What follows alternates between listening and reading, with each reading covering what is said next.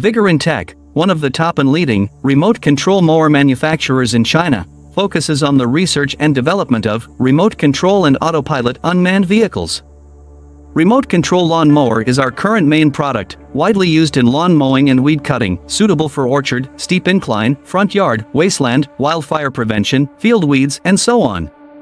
The remote-controlled weed cutter adopts CE and EPA approved gasoline engine, 200 meters long distance remote control, adjustable cutting height, travel speeds up to 6 kilometers per hour. Based on the in-depth understanding of our own products, we can provide the best after-sales service. We are looking for distributors and dealers all over the world.